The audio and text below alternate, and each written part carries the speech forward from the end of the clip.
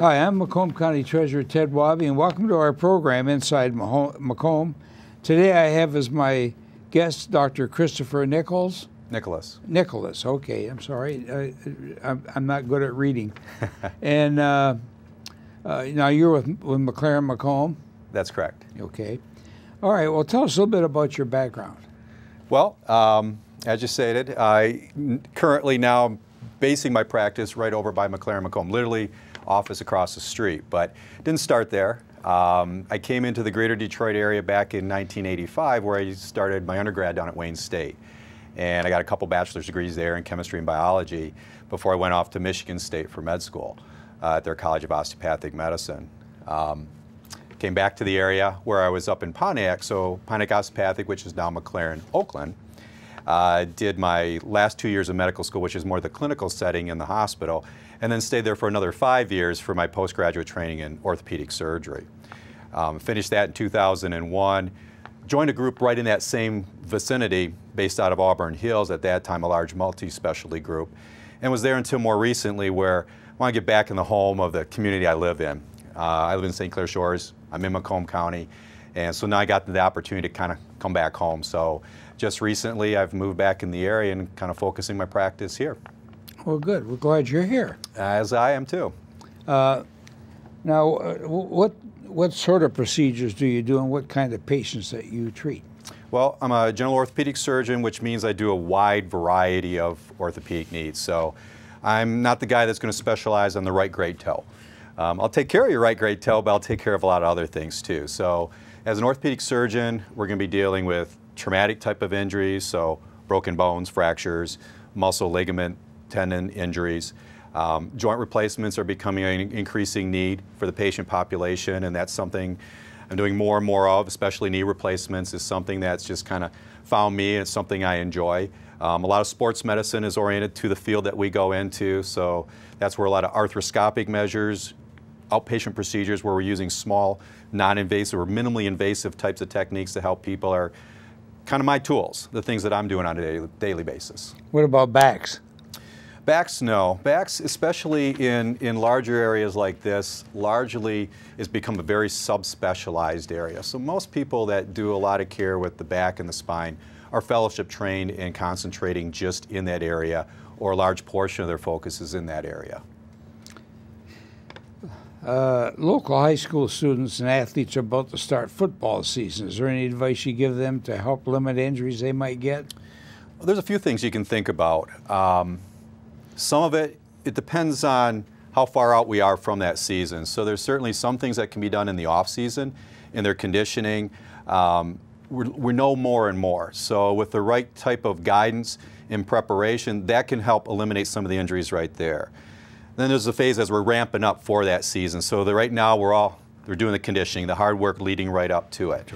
Um, and the things with that is, you know, there's some things associated just with that time. It's August, it's hot. So there's the things that we know. We need to be hydrated appropriately. We need to prep prepare for those. And we have to listen to our body. Um, there's going to be aches, there's going to be pains, there's going to be bruises that are just part of the sport. That's okay. But we need to be aware and, and not ignore that pain that's a little bit more, or there's that specific injury we can identify and it's continuing. That's when you need someone looking at it, whether it's that trainer, that therapist that's associated with that program, or seeing someone like me to make sure it isn't a sign of something more significant. Yeah. Um, and then we can get into a lot of other things too uh, with these athletes as to how do we prepare or strategies of how you do things, how do you cut, how do you move, reduce the incidence of ACL injuries and some of these injuries that are so prevalent in a sport such as football.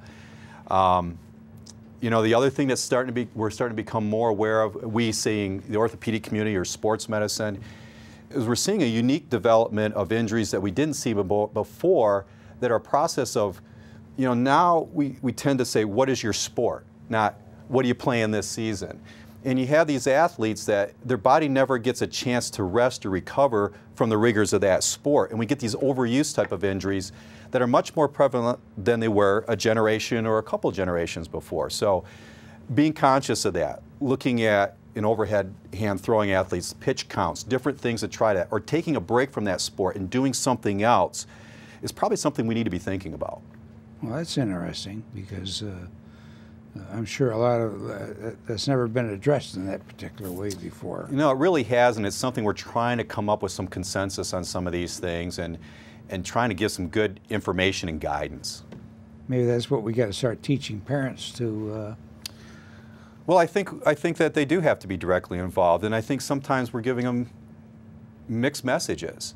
You know, they want, like any parent, you want to do the best and give your, your child the tools to excel in something they enjoy. Yeah, right. And so it's with the best of intentions, but sometimes we need to take a break from that. Or you can, it doesn't mean you forget it for three months and you play Xbox. There's other physical things you can do. There's things that may help that sport, but in a different way, putting the body through different things or concentrating on something else. Do you even get a mental break from that? I think that there's a real value to that. Well, uh, it, it, uh, that's good. Good to uh, to discuss those kind of things. I think the more their parents are aware of this thing, they they can be a guiding light to the kids too. Absolutely. Uh, you've had a lot of experience, as we were talking earlier, with knee replacements. When would a person start to consider a knee replacement? Good question, and one I get asked a lot. And, and it's not uncommon for patients to come to my office saying, do I need a knee replacement? Or when do I need a knee replacement? So the first thing is to identify, is it an arthritic condition? Because um, that's what a knee replacement is. We're replacing a worn out joint, if you will. And, and then it's, it's a matter of assessing how advanced is that arthritic condition? Are the symptoms the person having just because of the arthritis or there are other things too? And that's all going to be part of what we determine what things can we do and how, how close are you to that being the solution. Once we know that it is arthritis and it's advanced to the point where that starts to become one of the, the options on the table, if you will, then it's a matter of when is it right for that individual person. And, and what I would tell people is when we have clearly a diagnosis of advanced arthritis, and that arthritis is either keeping you from doing the things that you need to do, your daily activities, or it's keeping you away from the things that are your passions, the things you want to do. It's affecting your quality of life. Then you need to seriously consider is replacing that joint the right thing and the right time for it to give you an opportunity to have those things back. And that's what a joint replacement in many cases can do is give you, if not all those things back, a lot of those things back. When you, when uh, when you do a knee replacement, what do you uh, what is specifically done? What do you do? Of, yeah. Um, you know, a lot of people I think envision almost like you just go chop, chop, you pull it out and you pop in a new one. That's what I would think. And that's what I think. you know, I think a more accurate way of thinking of it is it's like a resurfacing. Okay. So when a joint wears out, what's worn out is those cartilage surfaces, those surfaces that come together. So you hear people talking about being bone on bone. Right. And then what they're referring to is when you take an x-ray of an arthritic knee, uh, or a knee in general, you see a space between the two bones. Well, that space isn't, they're not floating apart Part of that is the cartilage on the end of the bones. Well, as that wears away, you see the bones come together. And that's where bone to bone, that phrase comes from. So basically, what we need to do is bone on bone hurts. Metal on plastic doesn't hurt. So you're taking away those worn ends of the bone. So if this is your, the end of your thigh bone, your femur, if we're taking away, kind of cutting away around that there, removing that, and now putting a metal replacement of that. That's more what we're doing there. We do that on the other end, and then between those two surfaces, that space is made up with, think of it like a durable plastic mm -hmm. that mm-hmm. goes in between the two. So that's more accurately what we do. And, and these are very precise cuts that met meet the dimensions of that piece that again meets the dimensions of your knee. Um, so I think that's a more accurate way of, of, of, visioning it. The ligaments on the side of the knee are preserved. A lot of you is preserved as much as we can. Some things now are artificial. And that's some of the things that are going to be a little different than the knees started off with in life. And that's why you have to really critically look at how is it affecting you? How much function has been lost? And what can we now give back to you? Now, well, that, that particular uh, operation uh, restore uh, uh, function? Yeah. It, it, can do an excellent job of doing that. And oh, certainly good. that's our goal. Yeah. Um, it can be a very rewarding procedure. It's, it's a fun one for me to do because you can make a big impact on people. Um, and certainly that's my goal for them. Um, it can give you a lot of those things back. Are there some things that seem a little different? Absolutely. It's artificial. It's the best that we can do. But we can do a pretty good job. Um, and they can be pretty durable. So that's another question I get asked a lot. Well, how long is it going to last? Um, and you know, more current literature would show us that a lot of these knee replacements can still be going, 90% can still be going strong at 20 years out. So for a lot of people, this may be a one-time deal. But it's also good to know that if it does wear out or something goes wrong where it's not functioning as well, it's not like you got no more options. Revisions, redoing, or revamping, or doing further things to restore that function once again, a lot of times, the majority of times, can still be done. Well, see, that's the good part of it, yeah. That's the good part of it. We can still help you even in that situation. Well, that's tremendous. I mean, when you start look, start talking as as much as 20 years out, that's sure. Uh, what would happen if someone just ignores this pain? How would it get worse? Well, like we said, arthritis is a wearing away. It's not going to grow back. So we know predictably things are going to worsen over time. So the problems that you can get into if you wait too long um, is one, you're going to become more and more sedentary. You're going to be less healthy because you can't do anything or you become more and more restricted in what you can do. So now you become a poor surgical candidate. Um, and, and you've just given up so much of you. You start changing who you are. Do you really want to do that um, when there's a, a, clear solution to offer you? So, so those are some of the some of the problems you can encounter. And then it can even get to some cases if you wait long enough and there's been enough advancement in the progression of the loss and the changes to the knee that it becomes more complicated, you have more deformity, it may be unstable where it's causing risk for fall or other injuries. It may be more difficult to attain what we want for you. Um, so, you know, when you see an orthopedic surgeon about an arthritic knee wondering if you need a knee replacement, hopefully they're not just going to say, ha, all right, and they're going to put you there. They're going to really assess you, what your goals, what you're hoping to get out of it, and how do we attain those, whether it's a knee replacement or something else. That's the appropriate way of treating that patient. Well, that sounds logical to me. Uh, the uh, are there any alternatives to a total knee replacement? There's a lot of alternatives.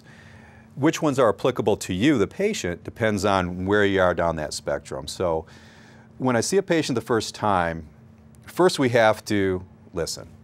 You know, Sir, Sir William Osler said, said years ago that if you listen to a patient long enough, they'll give you the diagnosis. They'll tell you what's wrong. So I listen. You need to hear how it's affecting them and how it's creating problems in their daily life. Then you have to look at what's there physically, their exam, their x-ray findings. Once you've determined those things, now you can get an idea, is it arthritis? Is arthritis only part of the problem? And where are they at in the progression of it? So in the earlier phases, there's a lot lesser things that may be all you need, or at least at this time. It may be certain medications to control the inflammation. It may be that, gee, you know, I'm less active, things change, I've gained more weight. Maybe we can come up work around that where we can lose some of that weight. It's a weight-bearing joint. It's going to have an impact on you. Okay. There's different types of injections, sometimes therapy, bracing. There's a lot of things before you even get to the point of surgical procedures to your knee. And then once we get to surgery, that's a whole other realm. And yes, there's knee replacements, but there's other procedures like partial replacements. So some people don't have the whole knee wearing out, just a part of it. So maybe you only replace that part of it. Keep more of what they started off with, a more natural feeling knee. Um, so it's, you can imagine it's pretty individualized and there's a lot of time and, and sharing and talk before we ever come to a conclusion of do you need a surgery or what's the right treatment course for you. Uh, you mentioned before the art of medicine. What do you mean by that, and how does it apply to your specialty? The art of medicine. So, and I, and I, medicine is not a black and white field. It's a lot of shades of gray. So, it drives some of my engineer patients crazy because they live in a very analytical, you know, you measure with a micrometer, it's very clear, it's precise, we're working with numbers. Um, the human body isn't that way. So you, you have to have an appreciation for the individual, where they're at in that disease process, their arthritis, and what things are likely to help and to what degree. And it will be variable, that you can do sometimes the same thing or treatment, and it doesn't always respond the same to every patient. So that's where there's a little bit of the art of it and learning these things and, and, communicating and being able to sense what your patient's experiencing and applying all that to get them the very best outcome. And I think it is an art. And I think that's also why we say we, we practice medicine because we're always trying to get better. We're never done. We're never satisfied with this is the very best we can ever do for a patient. We can do some good things for people nowadays. Absolutely, that I know. I've gone through a few things that they've done for me. but, but, even as much as we can do now, we look forward to the things we can even maybe do better in the future.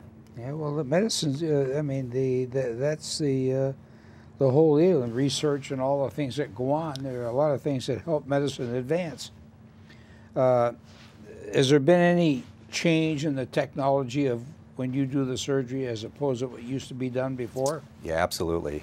Um, it's, it's kind of a fun field to be in. And, and, this is true for a lot of areas of medicine. There's a lot of advancements, but both from the nuts and bolts of how you do the surgery is changing and evolving. Um, now we, we're exploring, you know, using techniques like robotic assistance. So you may hear in the area here talking about Makoplasty, which is something that is offered at McLaren Macomb. And what that is, is the utilization of a robot assisting you in performing uh, partial knee replacements, and there's some applications in hip replacements as well, trying to see how much can we mesh the human factor with the precision of the non-human factor to get the very best outcome. Um, there's other things such as where we do more customization of the knee replacement, not so much in the design of the implant, but how we go about doing it. So using MRIs or CAT scans to create three-dimensional models of that person's knee, and then guides that guide us in the positioning of those cuts or that placement using that data. Um, you'll hear, you know, a, a, phrase that's used a lot now with a lot of interest is minimally invasive surgery. And, and, really what you're talking about there is not how long is a scar, although part of it might be reflecting that. It's what did you do under the skin? How much can we not disrupt muscles, tendons, other structures, and, and still do what we need to do and do it accurately, um, which may make, make for an easier recovery. Um, there's been a lot of advancements in technique, instrumentation, ability to do that, that's evolved over time, where now, you know, 10 years ago, I might talk more to a person about, hey, I think you're a candidate for a minimally invasive knee replacement. Now, everybody is a candidate for at least some aspects of it. Maybe they're not all the same for every patient, but I've comfortably just applied it as to how it's applicable to that patient to everyone. So that's some of the more, more clear-cut things that have advanced as far as just the technique-wise and how you do the surgery. And then we can get into other realms which are really interesting as to just the technology and harnessing the own person's biology, and this is where we get into the fringes of where is stem cell therapy and platelet-rich plasma and these things, where is it going to lead us? And right now we probably have as many questions as answers. It's pretty exciting stuff, but the answers aren't all there yet. Is there, uh, is there anything patients can do to pre-op to help their recovery? Definitely. So once you've decided and we've determined that you're having a knee replacement or a partial knee replacement or something of that nature, um, are there things that you can do to get yourself ready? And there's several. One is be educated. You know, part of the problem when you go into any type of surgical procedures is the fear of the unknown. So, you know, we've identified that courses that teach you about what you're going to go through, teach you some of these things, are definitely helpful. Makes it go smoother. Takes away the unknown factor. You already expect these things. Um, some people will be good candidates for possibly some type of therapy or exercise or conditioning, preparing themselves for it. Maybe it's getting your upper body stronger because you're going to need a walker or some type of assistive device at first. Um, so yeah, you're able to use those things. Maybe it's teaching you how do you use these types of things because you haven't before. So it isn't all new and having to be learned at that same time. Um, so some of these things can be helpful. And then there's back to, you know, we mentioned earlier about, you know, weight loss, these types of things. And it's, and it's not easy. It's not easy for anyone. And now you've got something that further, further affects your ability to be physically active, so it's even more challenging. But there's still opportunities there. And we can maybe help you. Um, and then optimizing yourself medically. So that's where, like a lot of things, and especially these types of things, it's a real team approach. I'm just one part of the team. I'm a big part of the team in the OR, but there's a lot of other big important team members before it, your primary doctor being one of the big ones. So they're medically optimizing you, making sure that you're as healthy and as prepared for this as you can be. So these are all things that need to be happen well before You get to you. you get to me and you get to the OR. How much function can a post-op patient have once they're fully healed? They can have excellent function. So it's not expected that we're making you give up a lot of things because you had a knee replacement. It's more expected we're giving you back a lot of things because you had a knee replacement, is I think how you think about it. Um, you have to be realistic. It is artificial. Um, you're, you're not going to be a rock climber. You're not going to be a marathon runner after a knee replacement, or at least I don't recommend it. And you're not going to get the 20 years out of it probably if you do those things. But being able to, to bike, to swim, to golf, to do a lot of the things that you probably were already giving up are definitely things that you should be able to do. You should have good motion to your knee. These are all things that between the techniques, the design of the implants, and the therapy protocols that we have, we can predictably attain for you. However, there's going to be a little bit of tough love with it too. So I want you to get the best knee you can. And I want you to be, have an outcome that you're happy with. So there's going to be that personal effort. You know, we can set you up. We can give you a good knee. We can do a technically precise surgery. But then it's going to be the hard work of the therapy and the things that we ask of you. Um, that's part of the deal. That's But if you do yeah, those things, you'll be happy. Well, that's what you're looking for. You're looking Absolutely. to, to get there, and and to do that, you've got to you know you've got to be prepared Sure. to walk the mile. Yep. To get it done. But if you're willing to, it can be a very rewarding procedure. Is is the uh, is the uh, uh, what, ca- what what is it a deficiency in a person uh, is makeup that causes this knee stuff, or is The it arthritis? because you wore it out, or Sure. Um, yes and yes. Uh, so everybody doesn't get arthritis for exactly the same reason or formula. There's definitely a genetic component. So you'll see, yeah, dad, grandpa all had arthritis. So certainly there's there's that piece. Um, there's the things that you've subjected that joint to over time. Little injuries or traumas along the way that have caused their little bits of damage that just catch up with you over time. Once cartilage is lost, it doesn't regenerate, it doesn't grow back. We don't have the really the ability in general terms. I mean, there are restoration techniques for isolated things that we can do, and I can talk for quite a bit longer just on those types of techniques. Um, but there's, there's a progression of these things. So there's that. There are certainly some people that have a much clearer role of an anatomic variation, the way they're made, as you stated, that are a bigger factor in why they get arthritis or arthritis in certain areas. Perfect example is the hip, that within the orthopedic community, there's been a lot of interest and a lot more attention, probably in the last 10 to 15 years, especially of what's called femoral acetabular impingement, a mismatch between the ball and the socket that over time, this mismatch sets that person up for probably getting arthritis or arthritis at an earlier age. So that's opening up new revenue or revenues, but new new avenues of maybe we can preemptively identify some of these and do things earlier before they get that. So there's a lot of different things that all together put you in my office. mentioning arthritis. Uh, Right. is that the pre- predominant issue with knees? It is, at least when you're talking about the person that's in need of a knee replacement, is it's arthritis. It can be different forms of arthritis. Usually when I say arthritis, we're talking about osteoarthritis. So that's the, the run-of-the-mill arthritis that most people get. But there are different variations, so that's where certainly even comes more genetics and that. So when you're talking about inflammatory arthritis, like rheumatoid arthritis, psoriatic arthritis, these things, they behave a little different way and they have bigger parts of that as their factor and you kind of were born with it or you had a risk factor in that.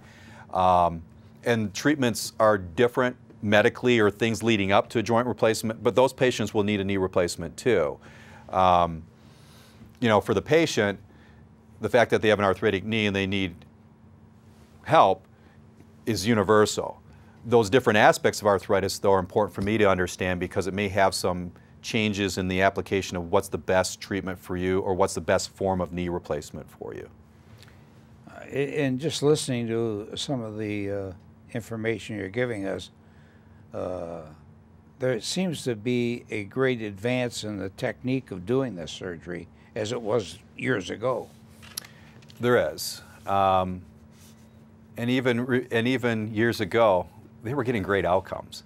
So if you think about that, and now all these advances in how we do it, and what they're made of, in the design to try to replicate and get closer to where you were, that's pretty encouraging stuff. Yeah. That if anything, it shouldn't scare you away. It should make you that much more interested in saying, hey, this may be a real good option that I should explore. Well, like I say, we know we all know that that uh, uh, medicine has made a dynamic uh, change in the last few years for the better in terms of techniques and Right. things to to, uh, to uh, I, I know uh, I, I remember years ago when people had bypass surgery and you were I had a five way done. I was in the hospital. I was out I think in three days or four days Sure. and uh, I went back to work a week after that. Yeah.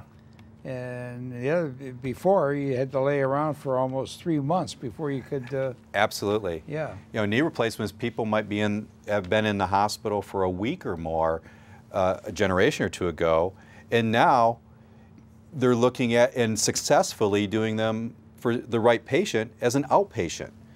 Um, and it's not just because the insurance is pushing them out the door quicker, it's because it can be done and done right. There's a lot of planning and things, but that's just how things are evolving for us. That's. Uh, well, doctor, I want to. First of all, I'm happy to meet you. I haven't met you before, and and uh, certainly, uh, I hope this has been all you people out there who may need a knee replacement.